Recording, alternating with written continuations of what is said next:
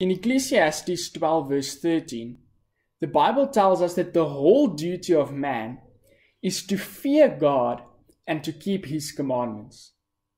In Revelation 14, verse 7, the first angel's message also commands us that we need to fear God.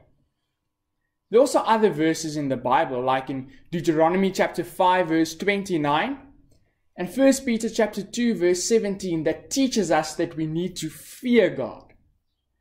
Now, if it's part of the whole duty of man to fear God, and it is commanded in both the Old and the New Testament, then it must be quite important to know what it actually means to fear God.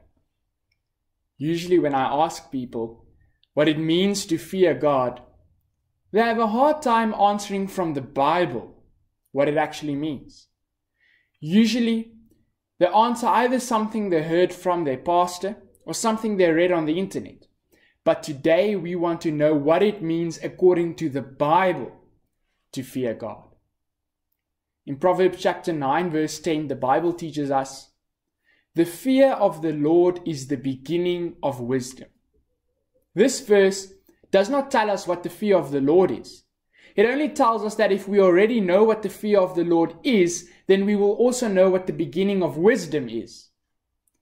There are two verses that I'm thinking of right now where the Bible tells us exactly what the fear of the Lord is. Both of these verses teach the same principle, they teach the same truth. The first verse is found in Proverbs chapter 15, verse 33, and it says, The fear of the Lord is the instruction of wisdom. But what is the instruction of wisdom? If we don't know what the instruction of wisdom is, then we won't know what the fear of the Lord is. I suggest you watch my video, What is Wisdom, where I talk about what the Bible teaches about the instruction of wisdom and what is wisdom.